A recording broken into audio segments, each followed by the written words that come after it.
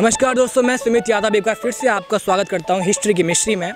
साथियों, आज हम लोगों से बात करेंगे बॉलीवुड में बनी हिस्टोरिकल फिल्म्स को लेकर। हालिया समय में जो मूवी रिलीज़ होने वाली है, पद्मावती, उसको लेकर काफ़ी विवाद गरमाया हुआ है। तो हम लोगों से जानने की कोशिश करेंगे कि हिस्टोरिकल फ़िल्म में क्या होना चाहिए। रियलिटी के कितने करीब होना चाहिए, फिक्शन कितना होना चाहिए उसमें? आइए बात करते हैं। हिस्टोरिकल फ़िल्म आपको पसंद है? यस मेरे को बहुत ज़्यादा पसंद है हिस्टोरिकल मूवीज़ इसके अंदर मुझे एक्चुअली रोमांस मूवीज़ भी ज़्यादा पसंद हाँ मेरे को बहुत पसंद है और उसमें हिस्टोरिकल चीज़ें ज़्यादा हो तो वो भी बहुत पसंद है। और उसमें अगर रोमांस इन सब का तड़का हो अच्छा इसमें मतलब कौन सी इतनी बॉलीवुड में इतनी मूवीज़ आई हैं हिस्टोरिकल्स आए हैं? हाँ। तो कौन सी मूवी आपको ज़्यादा अच्छी लगी? अभी तो मेरे को अ, बाजीराव वो वाली मूवी ज़्यादा अच्छी लगी। वो ज़्यादा अच्छी थी और है भी। उसे जब भी देखो अच्छी लगेगी। रामलीला मुझे रामलीला हिस्टोरिकल फ़िल्म नहीं है। बट मुझे रामलीला अच्छी लगी। आपको हिस्टोरिकल फ़िल्म पसंद है? हाँ जी बिल्कुल। आपको कौन सी आपको लगता है कौन सी फेवरेट आपकी मूवी है हिस्टोरिकल फ़िल्म हाँ टिल नाउ जोधा अकबर वो अच्छी। बाजीराव मस्तानी दोस्तों आपको हिस्टोरिकल फ़िल्म पसंद आती है क्या? हाँ जी सर बिल्कुल आती है आपको पसंद आती है। कौन सी ऐसी फ़िल्म है जो आपको बहुत अच्छी लगी? मुझे बाजीराव मस्तानी बहुत अच्छी लगी। की स्टोरी है अभी अच्छी लग रही है। पद्मावती आई नहीं अभी इससे पहले जो स्टोरी है। ये बा-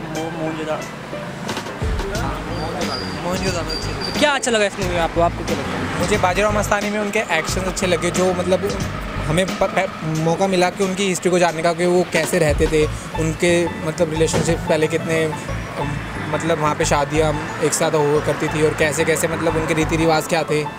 पूरा मतलब एक पता लगा हमारी हिस्ट्री के बारे में कि पहले कैसे हुआ करता था। तो हिस्टोरिकल फ़िल्म आपको पसंद है? हाँ जी। कौन सी ऐसी फ़िल्म है जो आपको बहुत अच्छी लगती है? थोड़ा तेज। बाजीराव मस्तानी। मोहन जी दड़ो बाहुबली। बाहुबली? वाह तो ऐसा क्या लगा इस फ़िल्म में आपको? क्या अच्छा लगा?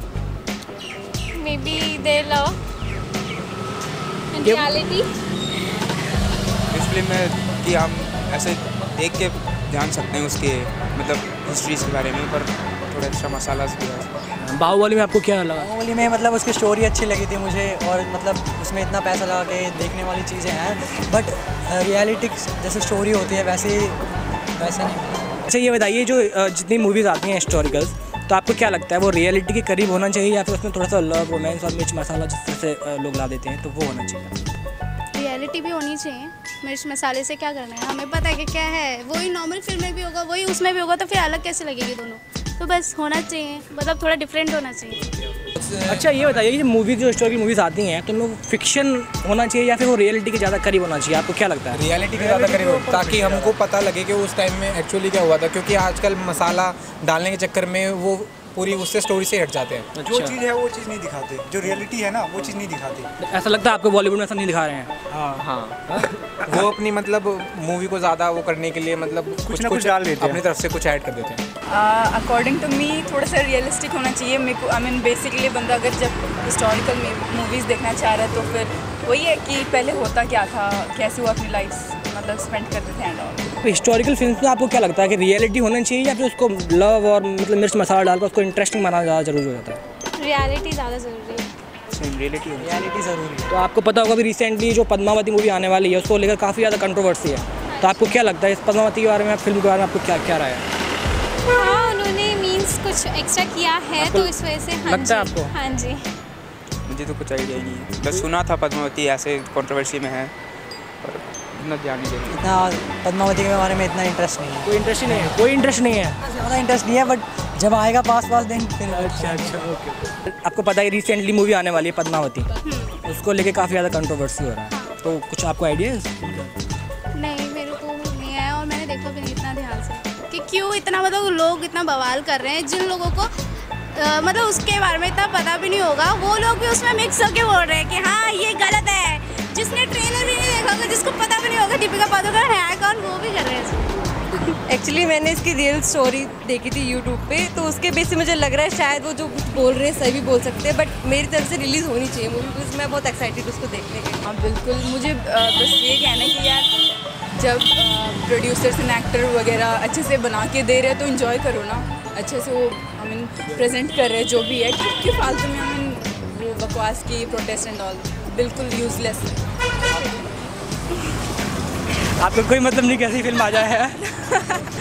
नहीं हाँ वही क्यों कर रहे हैं ये सब मूवी देखे। और उसे पोस्टपोन भी कर दिया अब वन से दिसंबर से ट्वेल्थ जनवरी हो गई। तो ऐसा नहीं करना चाहिए ना उन्हें। अच्छा आपको पता है, जैसे रिसेंटली अभी जो मूवी आने वाली है, पद्मावती, बहुत ज़्यादा कंट्रोवर्सी चल रही है उसको लेकर, है ना? तो आपको क्या लगता है, क्या राय है सर इसके ऊपर तो कोई वो नहीं होना चाहिए, क्योंकि जब तक वो चीज़ प्रोडक्ट सामने नहीं आएगा, हमें पता क्या लगेगा, उसके अंदर है क्या? उसके कुछ छोटे छोटे उनको देख कर ही लोग इतना भड़कते हैं। इंडिया के अंदर और भी केसेस है, उसके अलावा उसके हटके कुछ करना चाहिए ना। वो एक छोटा सा इशू को इतना बड़ा बना रखा है। पहले उसको आने तो दो मार्केट में पता तो लगे, है क्या रियल चीज़? उसके बाद कुछ करना बेटर होगा ना ना कि उससे पहले उसके पीछे कुछ लड़ाई करना स्टार्ट कर देंगे। अच्छा। जब तक लोगों को पता नहीं चलेगा कि हाँ इस फ़िल्म में क्या क्या चीज़ें हैं जो पहले क्या थी अब क्या दिखा रही है। तब तक पता कैसे चले कि हाँ ये फ़िल्म गलत है। ऐसा तो कह नहीं सकते। दोस्तों आपने देखा कि लोगों का मानना है कि हिस्टोरिकल फिल्म्स के लगे एक्यूरेसी तो होनी ही चाहिए। और हिस्ट्री के मिस्ट्री का ऐसा मानना है कि जब भी कोई हिस्टोरिकल फ़िल्म बनाया जाए तो उस पर एक्सपर्ट की राय एक रिसर्च पैनल होना चाहिए। अगर आपको ये वीडियो पसंद आई हो तो लाइक कीजिए शेयर कीजिए और हाँ सब्सक्राइब ज़रूर कीजिएगा। जय हिंद।